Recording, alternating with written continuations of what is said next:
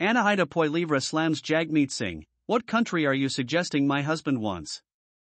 Federal NDP leader Jagmeet Singh found himself sparring over policy and politics with an unexpected interlocutor, Anaida Poilievre, wife of Conservative Party leader Pierre Poilievre. The social media Donnybrook was triggered by an incident that happened Tuesday, when Singh was accosted by several members of the public outside Parliament. In the exchange, which was captured on video, someone asks the NDP leader, Are you voting non confidence today? Singh doesn't respond and merely keeps walking. Another then says, Corrupted bastard.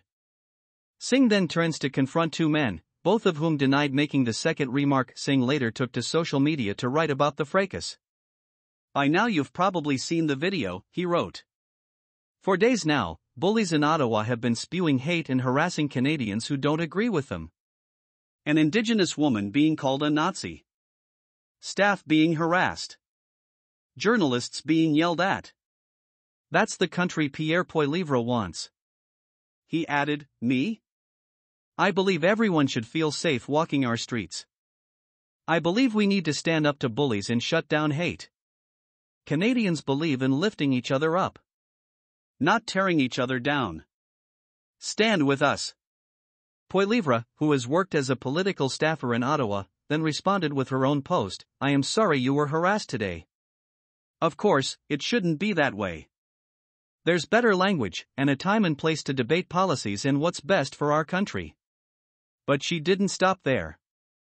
Mr. Singh, what country are you exactly suggesting my husband wants? People out there are hurting. And yes, they are angry. But my husband has not been the man in charge for the last eight years. That's your friend, Justin Trudeau. People didn't wake up angry one day without reason. The policies implemented by the government that you support have caused much harm. She added, Why are criminals released so easily? Why are so many court cases tossed? You want safe streets? Then why are you continuously supporting the harmful liberal policies that caused this mess? You want to talk about the country Pierre Poilievre, my husband, wants? Then listen carefully to his policies and actually watch the man he is. I'm tired of you and your friends portraying my husband as someone he is not.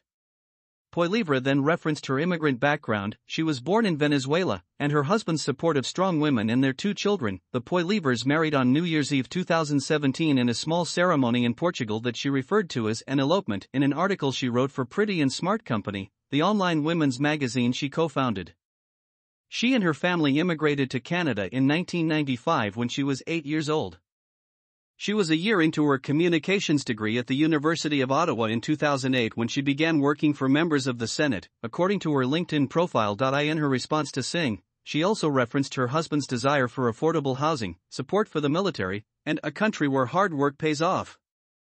Mr. Singh, the only person you have to blame for the current state of our country and people's mood and desperation is the man currently in charge, and those who keep him in charge. Both posts have been viewed several hundred thousand times, with more than a thousand comments on each. Singh has made comments about Pierre Poilievre and his plans for Canada should he become Prime Minister. In a recent post on X, he asked, Do we want a country where we fight for one another and have each other's backs? Or a country where Pierre Poilievre's callous cuts take from you and give to the ultra rich?